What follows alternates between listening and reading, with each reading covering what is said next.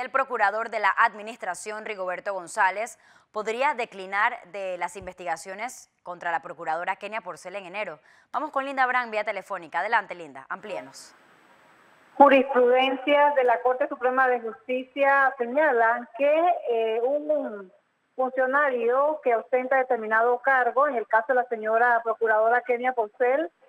según el Código Judicial, la investiga el procurador de la Administración, pero recordemos que la renuncia eh, es a partir del 1 de enero de 2020, lo que significa que eh, ella, al dejar el cargo y pasar a ser una ciudadana eh, que no sienta este cargo, pues entonces ella será investigada o el ente competente para investigarla es el Ministerio Público. En este caso, el procurador de la Administración manifestó eh, que esperemos ese momento, sin embargo, es lo que establece la jurisprudencia. En el caso de este tipo de funcionarios, se deberá entonces, a partir de enero de 2020, declinar competencia y remitir la carpeta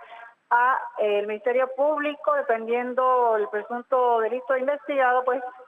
pues, podría ser es que este esta carpeta repose o, sea erradicada en una fiscalía anticorrupción con relación a las exigencias que hacen algunos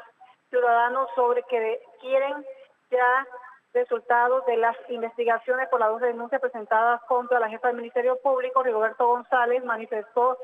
que eh, las investigaciones se deben de hacer cumpliendo el debido proceso, porque recordemos que en el sistema penal acusatorio, en este caso Roberto González coge como fiscal, tiene que llevar los elementos de convicción de darse el caso para solicitarle a un magistrado de la Corte que figurará en este caso como juez de garantía eh, los elementos de comisión para que se proceda a la imputación de eh, cargo. Es un ejemplo hipotético, por eso que debe de ser muy cuidadoso al momento de cumplir cada una de los pasos y los procedimientos en esta investigación contra la procuradora Kenia Porcel. Eh, una semana, eh, un mes y dos semanas eh, para que ella cese en su cargo de procuradora de la administración. Estas declaraciones del procurador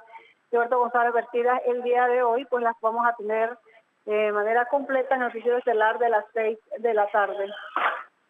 Gracias. Gracias, Linda.